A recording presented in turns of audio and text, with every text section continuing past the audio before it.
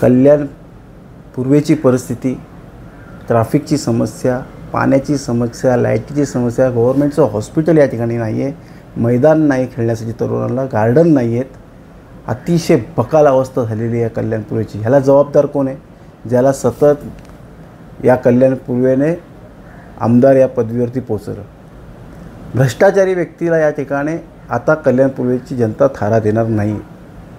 अतिशय बकाल अवस्था झालेली आहे. हे कल्याण शहर आहे. याला जबाबदार फक्त एक माणूस आहे. त्याच व्यक्तीला जर परत उमेदवारी दिली किंवा त्याच्या कुटुंबाला दिली तर कल्याण पूर्व इतर शहरांपेक्षा अजून अनेक श वर्ष मागे राहील आणि अजून याची अवस्था बकाल होईल हे नागरिकांना जाणवलेलं आहे. त्यामुळे नागरिकांची आणि त्या ज्याने ह्या कल्याणपूर्वीचं शोषण केलं आहे त्याची निवडणूक ही खऱ्या अर्थाने लागलेली आहे. त्यामुळे या ठिकाणी आवर्जून सांगेल जर असं अशी उमेदवारी जर बी जे पीने त्यांना दिली तर मी अपक्ष म्हणून लढेल.